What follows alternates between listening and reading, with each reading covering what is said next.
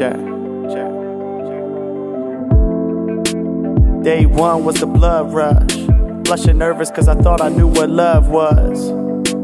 But if I learn, then I can sum up. Mathematically decide who will not one up. Anything I can hold, they don't see the wrong goals. So they try to take yours. Late in the evening's been cold.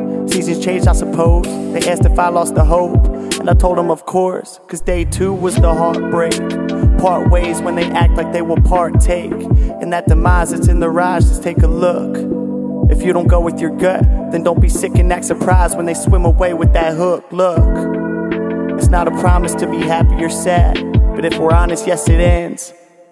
So where does it begin? Back at stage one, looking to win. Knowing I'ma lose it all again. Damn.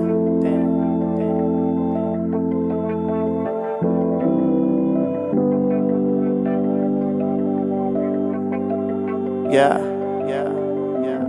But it's like these lessons that I'm learning ain't burning to my imagination. I'm impatient, sorry, I've been waiting my whole life to face it. Why they hate me, turn around, apologize just to degrade me. Shit is crazy. I stay in the light to people shady.